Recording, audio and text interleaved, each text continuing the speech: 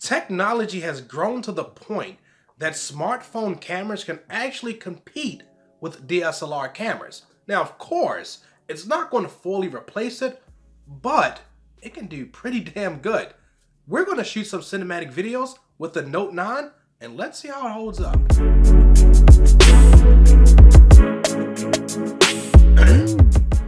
Alright, so click the timestamp above, it should pop up about now, to fast forward to when the cinematic video actually starts, because I'm going to go over on the accessories in the app I actually used to shoot these shots. Now, crazy enough, right now, this video is being shot on a Note 9.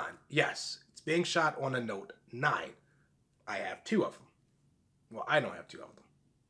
This is my wife's. Now, before you say the microphone on the Note 9 is amazing, it's not the microphone on the Note 9. I'm actually using a Rode boom mic and it's attached with a TRS to TRS cable. This allows this mic to be compatible with mobile phones. For some of the shots, I actually used the Smooth Q gimbal. For the size of this phone, I am quite amazed that I didn't have to do any calibration at all. End up doing everything on its own. Once I powered it on, that was it. I attached the Smooth Q gimbal to the tripod to make some shots seem like it was a jib effect, and they came out very smooth and amazingly well. And since this is the first cinematic video I have ever shot with a smartphone or with any camera in general, I have to say, I had quite a blast. So without further ado, let's take a look at some footage. About to leave, already packing.